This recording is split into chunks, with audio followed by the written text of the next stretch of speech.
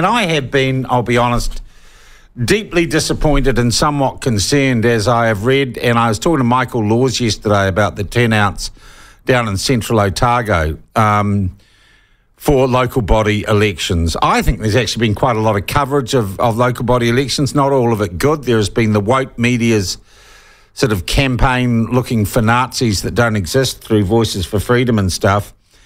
Um, but let's be honest, um, there isn't. We're not actually gripped by local body elections or by by local body politics, and well, it appears that the turnouts are pretty bad, and maybe that's got something to do with it being a postal ballot.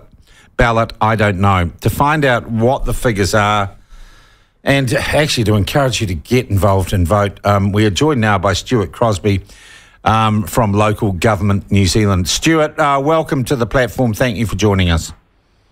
Uh, my pleasure, Sean. All right, Stuart, uh, from what's happening so far, can we have an average turnout, voter turnout so far, and where are the worst places in the country? Where do people really not give a stuff about these elections?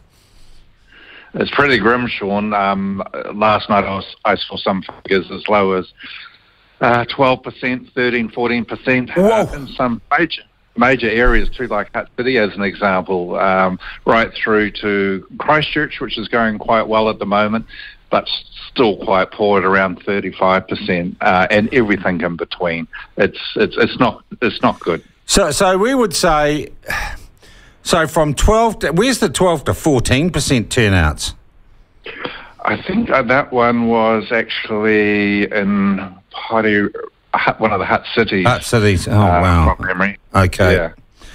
Okay, so uh, which traditionally didn't never polled particularly well either. But yeah. you know, there there is a kick at the end. Um, there's always a kick at the beginning, um, steady through the middle of the election period, and then a boost at the end. So mm. uh, let's certainly hope we get that boost. Okay, so end. I just want to clarify how long now. It's, it's postal ballots everywhere. Um, how long have people got in reality to get their votes in? What's the deadline or the cut-off point? The absolute deadline is uh, 12 o'clock uh, on Saturday afternoon, the 8th, this coming Saturday. But do not post your vote, I'd suggest, from today onwards. Okay, because um, it's not going to get through.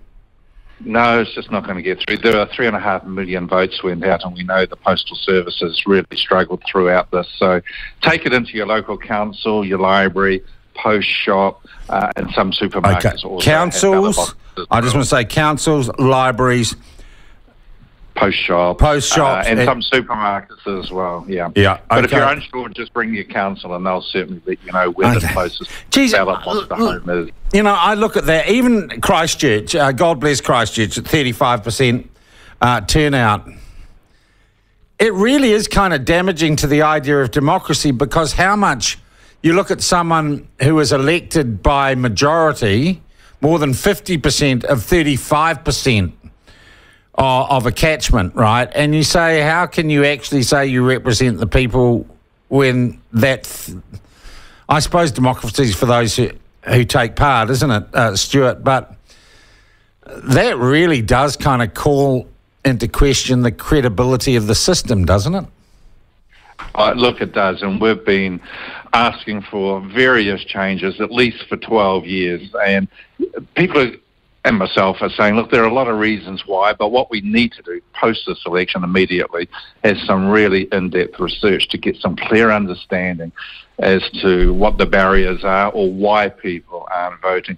Yes, we have an antiquated postal system. Would electronic support uh, the uptake, I'm not sure. You know who stops that, of course, is actually the GCSB, the government Oh, they say, yeah, yeah, and I've heard yeah. this. This has emerged, this narrative has emerged, is that they say it would be open to manipulation. I find it hard to think that the FSB in Russia are interested in manipulating the election results in Stokes Valley.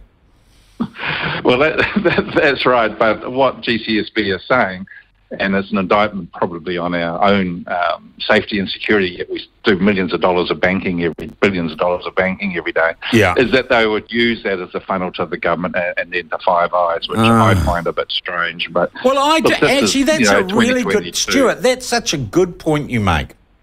we couldn't possibly have a voting system that's electronically based, but we have an entire financial system. I mean, I can't remember the last time I ha- I handled a piece of cash, you know, or a, you know, a twenty dollar note or anything. So well, that's right. It's good enough. Yeah. If it's good enough for our entire financial system to be run off computer, I guess our motor vehicle registration system, our court system, and we're saying we can't have a voting system that at least uses it in part. That is crazy, isn't it? Well, it is. You know, we in 2016 we got really close to running some trials. Council had volunteered volunteered to run some trials, electronic voting trials, alongside you know the postal, and that got canned. We had another crack in 2019, and that got canned. It's so frustrating. Yeah, and, the, but I don't think that's the only issue. Sean. Yeah. Well, what's what, what are the other issues? Uh, you, you know. Um, I, today's or this particular election has been very strange. Uh, we're the first uh, election post COVID. Uh, you know, people are absolutely focused on, you know, cost of living, inflation, yeah. just getting on with life at the moment. I think that's got a lot to do with it. Age and demographics, you know, um, I've been encouraging my nieces and nephews who are in their mid 30s to vote, some of them for the first time. So, oh, look, there's too many candidates. We don't understand who they are. There's not enough information. How can I tell the quality of a candidate from 150 words in a Well, go to a meeting for goodness sake. so um, there are a range of issues, um, and we need to find out what those issues are mm. and uh, find them some solutions. You know, civics in schools, we're pushing for that so young people can start to understand, you know, their right to elect people and to influence uh, decisions that will impact yeah. on them for basically their whole life. Yeah. Stuart, looking back historically, um, when was the highest? When were people most engaged in local body politics? And has it ever been this bad before? It's never been this bad before at okay. this point in any any election. Normally, the central government elections, um, which is another issue, you know, you actually have to physically go and poll yourself, uh, hover around 70 and 80 percent, whereas local has always been about uh, 20 or 15 to 20 percent behind that in the good days. Yeah. Uh, but we've been slipping backwards, I would suggest, for the last three or four elections, and this looks like probably is going to be the worst in our history. So the worst turnout in local body elections in the history of this country. Well, well. I'm sorry, the GCSB have to get their foot off that brake. We need to look at we need to look at every option to get people re-engaged uh, to my mind, well, in do, democracy. Sure. Yeah. Yeah, yeah, we do. You know, people have died for this in, in mm. years gone by uh, to make sure that you know we do have um, you know a, a, democratic system. And New Zealand actually does have one of the best in the world, if probably the less corrupt one. Mm. Um, and we, you know we must um, you know take advantage of that and support it and use it. So there's a lot of work to be done post this election, in mm. my view, and I hope the government of the day, and we don't care who it is, actually helps address uh, this yeah. issue. Stuart, I'm getting a ton of text through from people saying I didn't get my voting papers. What do I do if I want to vote? You can still make a special vote, Sean. Uh, you'd have to do that in person at uh, your local council. So uh, go down there, you go through the registration system, you'd get a voting paper, and you'll be able to vote. Okay, so you got to do that in person. Okay, there you go for everyone, and a lot of you have said I want a special vote.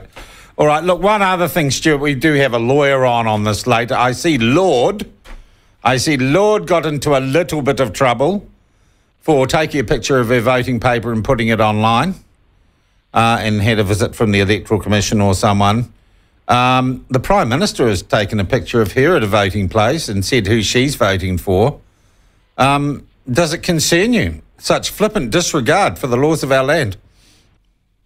That's quite interesting. I actually was unaware of that uh, particular law as well until our returning officer let the candidates know you cannot uh, take a picture of your voting paper with you know who you voted for and post it online. Yeah. Uh, so I, I, became aware of it about I don't know three weeks ago. Prior to that, yeah. I, I, had no idea myself. So I, I, look again, more work to be done on the rights and wrongs of what you can and can't do uh, through an election period. Yeah. All right. Look, I know you guys have done a good job. It is dreadfully, dreadfully disappointing uh, that turnout. Uh, it really, really is, and as I say, it, what it, it damages the whole system, Stuart, because people will turn around to their mayor and say, "Oh, if only fifty-two percent of you know twenty percent of the people in this area voted for you as mayor or as a councillor, why should I give you any authority?" It kind of damages the system, doesn't it? Well, it does. You know, I thought about that yesterday when I was asked by by another reporter. You know, it's not the candidate's fault. They've done their part. They've Yep. stood up. They've put their name forward. Um, and whatever the voting turnout is under our system, they are elected and get the mandate. It's really up to the populace now, you know, to put their hand up and use the democratic system and vote. And you have till midday on Saturday. Don't post Yes. from now on. Get down to a post shop, a li- public library, um, post shops, and in some cases supermarkets. And if you want to do a special vote, go to your local council in person, and they'll sort that. That's the way to go. All right. Hey, Stuart, thank you so much for your time and the good work you people do. Thank you very much indeed. That is Stuart Crosby from Local Government New Zealand. We are launching our own probe into whether or not the Prime Minister is a criminal. And in result, you do have to understand my sense of humour sometimes, uh, folks. Oh, come on, it's worth a crack, uh, isn't it? Have you voted yet? And if not, why not? If not, why not? Uh, Hutt City, 12 to 14% voter turnout.